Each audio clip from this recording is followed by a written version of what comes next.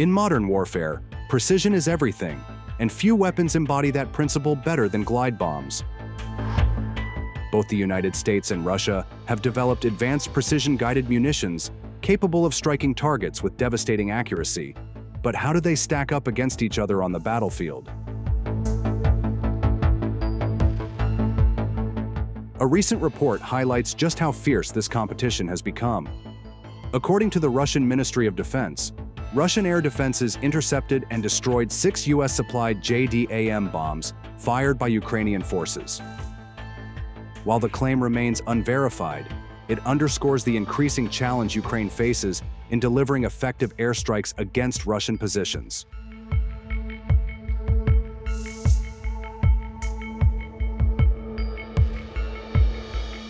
At the same time, Russia has ramped up its use of its own glide bombs, which have played a key role in devastating Ukrainian defensive positions, military depots, and infrastructure.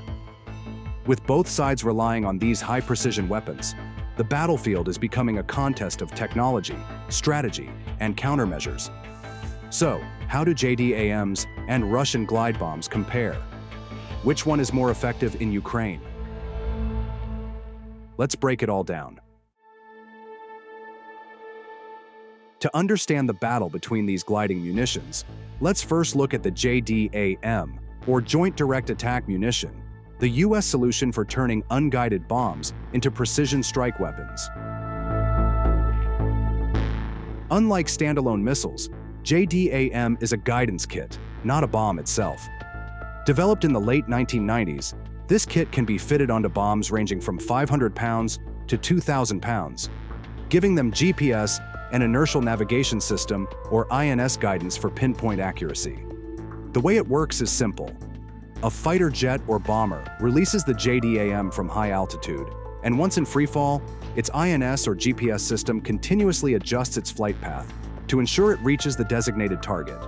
This system allows JDAMs to be highly effective in all weather conditions, making them a reliable precision strike option. For even greater range, the JDAM-ER variant comes with foldable wings, increasing its reach from 24 kilometers to over 72 kilometers. This allows aircraft to launch attacks from a safer distance, reducing their exposure to enemy air defenses. However, while JDAMs are highly effective, they are not without weaknesses.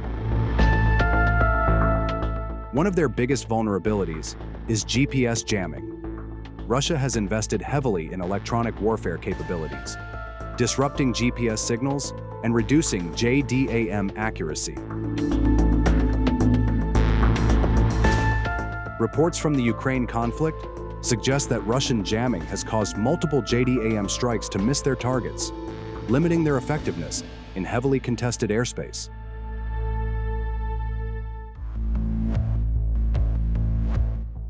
By modifying the tail of its bombs, Russia took a different approach, enhancing the front instead.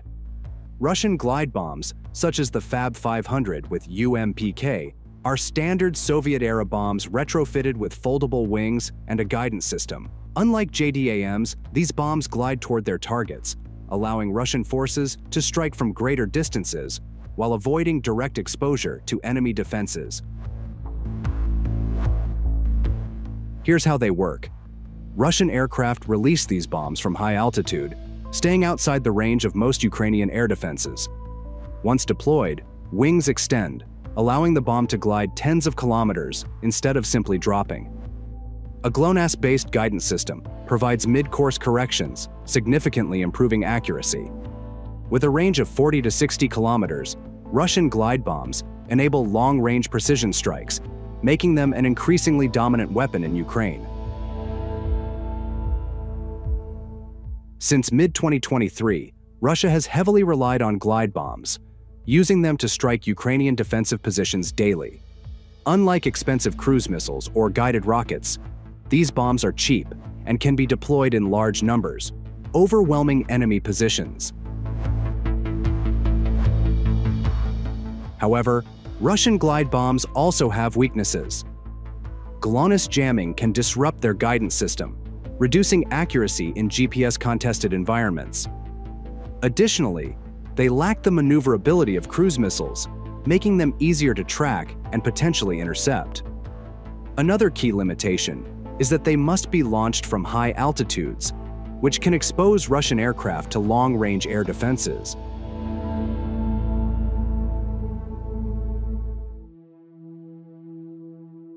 When comparing JDAMs and Russian glide bombs head-to-head, several factors come into play, from guidance systems to battlefield effectiveness and cost. So, which weapon holds the advantage? When it comes to range, JDAMs in their standard form can reach targets up to 24 kilometers away, while the JDAM ER variant, equipped with foldable wings, extends that range to 72 kilometers. Russian glide bombs, depending on the variant, can glide between 40 and 60 kilometers, giving them a comparable standoff capability. This means that while JDAM-ER has a slight edge in range, Russian glide bombs still allow aircraft to engage targets from beyond most frontline air defenses. But range and guidance mean nothing if the weapon isn't effective on the battlefield. JDAMs have long been a go-to choice for precision strikes, but in Ukraine, their effectiveness is declining. Russia's electronic warfare units have consistently disrupted JDAM guidance systems, and interceptions by Russian air defenses have further reduced their impact. Meanwhile, Russian glide bombs have become one of the most frequently used weapons in the conflict, raining down on Ukrainian defensive positions almost daily.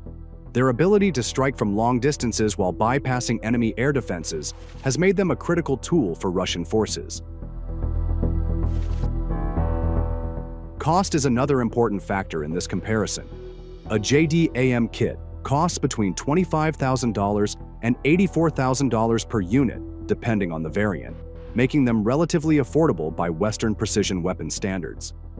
However, Russian glide bombs are significantly cheaper, as they simply modify existing unguided bombs, allowing Russia to produce and deploy them at scale without the high cost of advanced precision-guided munitions.